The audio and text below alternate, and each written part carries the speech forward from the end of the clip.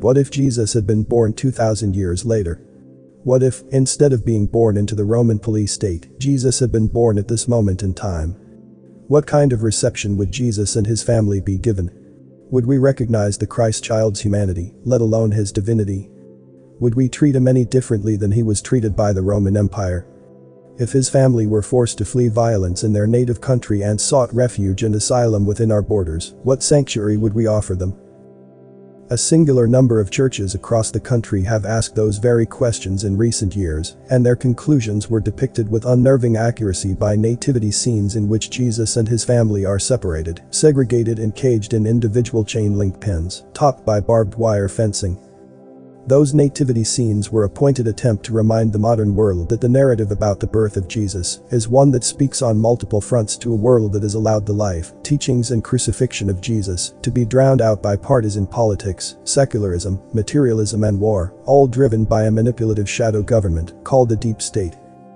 The modern-day church has largely shied away from applying Jesus' teachings to modern problems such as war, poverty, immigration, etc., but thankfully there have been individuals throughout history who ask themselves and the world, what would Jesus do? What would Jesus, the baby born in Bethlehem, who grew into an itinerant preacher and revolutionary activist, who not only died challenging the police state of his day, namely, the Roman Empire, but spent his adult life speaking truth to power, challenging the status quo of his day, and pushing back against the abuses of the Roman Empire, do about the injustices of our modern age? Dietrich Bonhoeffer asked himself what Jesus would have done about the horrors perpetrated by Hitler and his assassins. The answer, Bonhoeffer was executed by Hitler for attempting to undermine the tyranny at the heart of Nazi Germany. Alexander Solzhenitsyn asked himself what Jesus would have done about the soul-destroying gulags and labor camps of the Soviet Union. The answer? Solzhenitsyn found his voice and used it to speak out about government oppression and brutality. Martin Luther King Jr. asked himself what Jesus would have done about America's warmongering. The answer? Declaring my conscience leaves me no other choice, King risked widespread condemnation when he publicly opposed the Vietnam War on moral and economic grounds. Even now, despite the popularity of the phrase what would Jesus do? In Christian circles, there remains a disconnect in the modern church between the teachings of Christ and the suffering of what Jesus in Matthew 25 refers to as the least of these. Yet this is not a theological gray area. Jesus was unequivocal about his views on many things, not least of which was charity, compassion, war, tyranny and love. After all, Jesus, the revered preacher, teacher, radical and prophet, was born into a police state, not unlike the growing menace of the American police state. When he grew up, he had powerful, profound things to say, things that would change how we view people, alter government policies, and change the world. Blessed are the merciful, blessed are the peacemakers, and love your enemies, are just a few examples of his most profound and revolutionary teachings. When confronted by those in authority, Jesus did not shy away from speaking truth to power.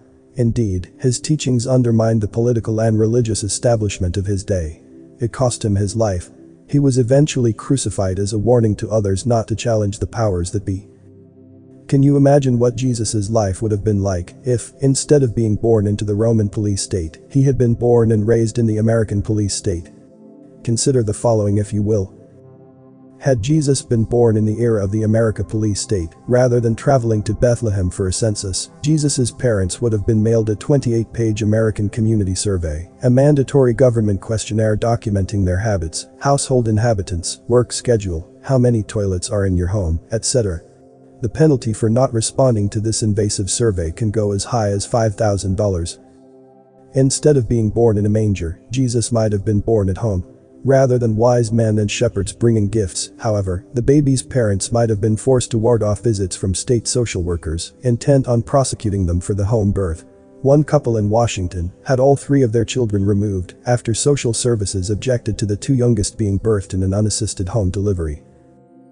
Had Jesus been born in a hospital, his blood and DNA would have been taken without his parents' knowledge or consent and entered into a government biobank. While most states require newborn screening, a growing number are holding on to that genetic material long-term for research, analysis, and purposes yet to be disclosed. Then again, had Jesus's parents been undocumented immigrants, they and the newborn baby might have been shuffled to a profit-driven private prison for illegals, where they first would have been separated from each other, the children detained in makeshift cages, and the parents eventually turned into cheap forced laborers for corporations such as Starbucks, Microsoft, Walmart, and Victoria's Secret. There's quite a lot of money to be made from imprisoning immigrants, especially when taxpayers are footing the bill. From the time he was old enough to attend school, Jesus would have been drilled in lessons of compliance and obedience to government authorities, while learning little about his own rights. Had he been daring enough to speak out against injustice while still in school, he might have found himself tasered or beaten by a school resource officer, or at the very least, suspended under a school zero-tolerance policy that punishes minor infractions as harshly as more serious offenses. Had Jesus disappeared for a few hours let alone days as a 12-year-old, his parents would have been handcuffed, arrested, and jailed for parental negligence. Parents across the country have been arrested for far less offenses, such as allowing their children to walk to the park unaccompanied and play in their front yard alone. Rather than disappearing from the history books from his early teenage years to adulthood, Jesus's movements and personal data, including his biometrics, would have been documented, tracked, monitored and filed by governmental agencies and corporations such as Google and Microsoft. Incredibly, 95% of school districts share their student records with outside companies that are contracted to manage data, which they then use to market products to us. From the moment Jesus made contact with an extremist such as John the Baptist, he would have been flagged for surveillance because of his association with a prominent activist, peaceful or otherwise. Since 9-11, the FBI has actively carried out surveillance and intelligence gathering operations on a broad range of activist groups, from animal rights groups to poverty relief, anti-war groups and other such extremist organizations. Jesus's anti-government views would certainly have resulted in him being labeled a domestic extremist. Law enforcement agencies are being trained to recognize signs of anti-government extremism during interactions with potential extremists who share a belief in the approaching collapse of government and the economy. While traveling from community to community, Jesus might have been reported to government officials as suspicious under the Department of Homeland Security's See Something, Say Something programs, Many states, including New York, are providing individuals with phone apps that allow them to take photos of suspicious activity and report them to their state intelligence center, where they are reviewed and forwarded to law enforcement agencies. Rather than being permitted to live as an itinerant preacher, Jesus might have found himself threatened with arrest for daring to live off the grid or sleeping outside. In fact, the number of cities that have resorted to criminalizing homelessness by enacting bans on camping, sleeping in vehicles, loitering, and begging in public has doubled. Viewed by the government as a dissident and a potential threat to its power, Jesus might have had government spies planted among his followers to monitor his activities, report on his movements, and entrap him into breaking the law. Such Judases today, called informants, often receive hefty paychecks from the government for their treachery.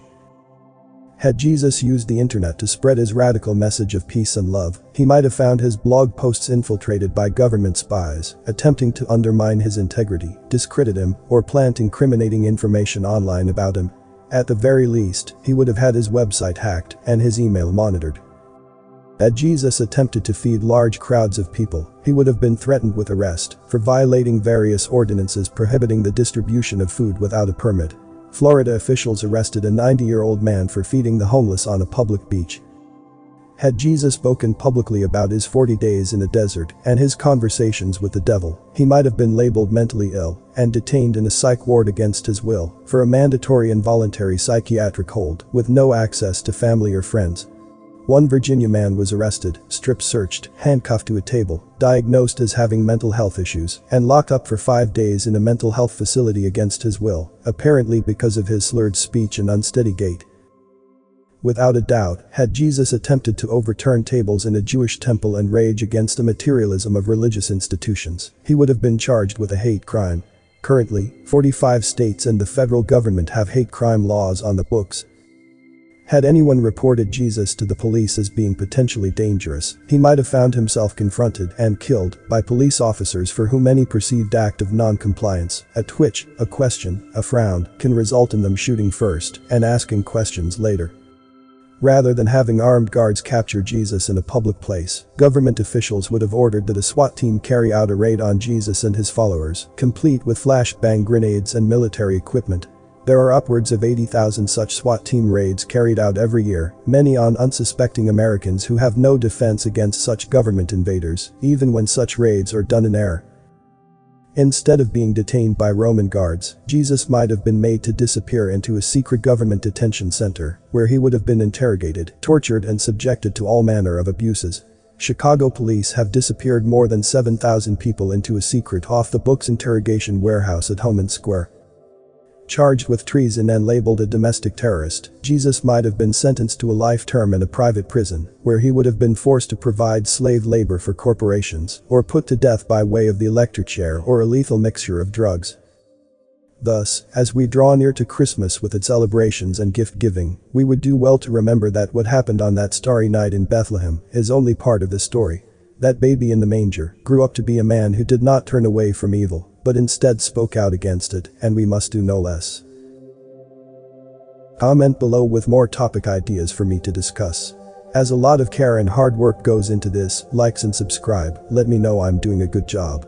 All is appreciated greatly. You may not agree with everything from the content I post. Apply critical thinking and use discernment to come to your own conclusions regarding the content.